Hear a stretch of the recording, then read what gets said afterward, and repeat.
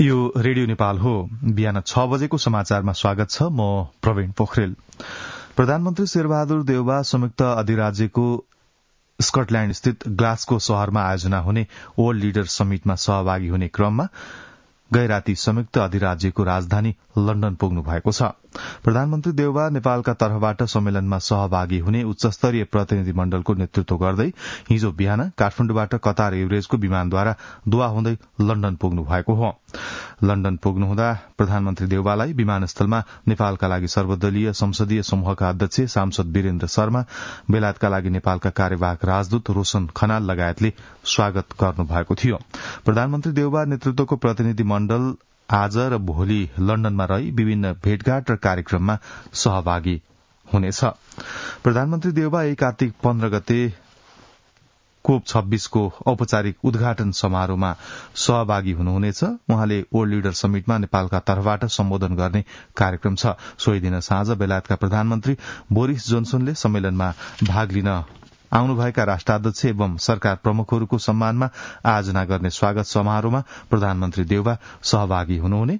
लण्डनबाट हाम्रा प्रतिनिधि अजय बमले जनाएका छन्।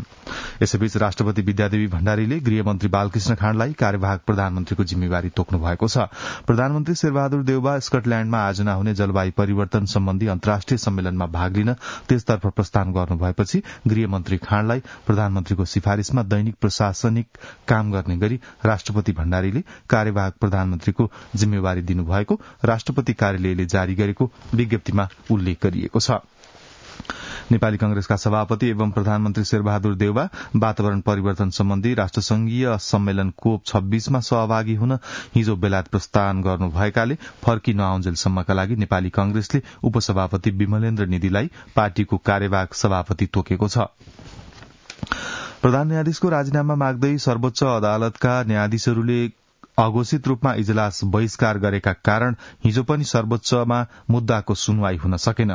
प्रधान न्यायाधीश चोरेन्द्र शमशेर जवराले हिजका लागि आठ इजलास गठन गरी एक सय बहत्तरवटा मुद्दाको पेशी तोक्नु भएको थियो। प्रधान न्यायाधीशसँग असन्तुष्ट सर्वोच्चका अन्य सबै न्यायाधीश इजलासमा नबसेपछि चार दिन यता बन्दी प्रत्यक्षीकरण लगायतका कुनै पनि मुद्दामा सुनवाई हुन सकेको छैन। न्यायाधीशहरू इजलासमा सहभागी नहुँदा न्याय प्रभावित भएको भन्दै न्यायमा असर पर्ने गरी कार्य नगर्न नगराउन माग गर्दै पन्ध्र न्यायाधीशहरू विरूद्ध हिजो तीनवटा रिट सर्वोच्चमा पुगेको छ। अधिवक्ता स्वागत नेपाल कृष्ण प्रसाई लगायतको सो रिट दर्ता प्रक्रियाका लागि अध्ययनमा रहेको सर्वोच्च अदालतका प्रवक्ता बाबुराम दाहालले जानकारी दिनुभयो। यसैबीच प्रधान न्यायाधीश जबराको राजीनामा माग गर्दै आएको नेपाल बार एसोसिएशनले पाँच दिने अल्टिमेटम सहित दबावमूलक कार्यक्रम घोषणा गरेको छ। नेपाल बारको हिजो बसेको बैठकले प्रधान न्यायाधीश जबराको राजीनामा माग गर्दै आइतबारदेखि कालोपट्टि बाँधेर धरनामा बस्ने जनाएको हो। बारले आइतबारदेखि चार दिन सर्वोच्च अदालतमा कालोपट्टि बाँधेर धरनामा बस्ने निर्णय गरेको अध्यक्ष चण्डेश्वर श्रेष्ठले जानकारी दिनुभयो। संघीय संसदको चालू अधिवेशन गए राति बाह्र बजेदेखि अन्त्य भएको छ। मन्त्री परिषदको हिजो बसेको बैठकले संविधानको धारा त्रियानब्बेको उपधारा दुई बमोजिम गरेको सिफारिश अनुसार राष्ट्रपति विद्यादेवी भण्डारीले हिजो राति बाह्र बजेदेखि लागू हुने गरी संसद अधिवेशन अन्त्य गर्नुभएको हो। संघीय संसदको अधिवेशन अन्त्य भएसँगै कार्तिक उनातिस गते सोमबारका लागि तोकिएको प्रतिनिधि सभा बैठक र सूचनाद्वारा तोकिने गरी स्थगित भएको राष्ट्रिय सभाको बैठक समेत अन्त्य भएको संसद सचिवालयले जनाएको छ। नेकपा एमाले दशौं राष्ट्रिय महाधिवेशनका लागि सहभागी हुने प्रतिनिधिको संख्या एक हजार नौ सय उनान्सय बनाउने निर्णय गरेको छ। ललितपुरको च्यासल स्थित तुलसीलाल स्मृति भवनमा बसेको केन्द्रीय कमिटि बैठकले यसअघि स्थायी कमिटिले एक हजार पाँच सय छत्तीस प्रतिनिधि संख्या प्रस्ताव गरेकोमा चार सय प्रतिनिधि थप्दै एक हजार नौ सय उनान्सय बनाउने निर्णय गरेको प्रवक्ता प्रदीप कुमार गिवालीले जानकारी दिनुभयो। बैठकले कार्तिक सत्ताइस गते एकै दिन महाधिवेशन प्रतिनिधिको निर्वाचन गर्ने समेत निर्णय गरेको छ।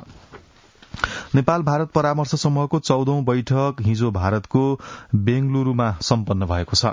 बैठकमा पारस्परिक सुरक्षा चासो नेपाली सेनाको तालिम र क्षमता अभिवृद्धि आवश्यकता विपद व्यवस्थापनमा सहयोग विभिन्न रक्षा भण्डारका लागि नेपाली सेनाको आवश्यकता सम्बोधन र सहयोग विज्ञ प्रशिक्षकको आदान प्रदान उच्च स्तरीय तथा कार्यात्मक स्तरमा संयुक्त भ्रमण आदान प्रदान संयुक्त रूपमा विपद व्यवस्थापनका साथै साहसिक खेल आयोजना र सुरक्षा सम्बन्धी विषयमा सूचना आदान प्रदान गर्ने बारेमा छलफल भएको थियो।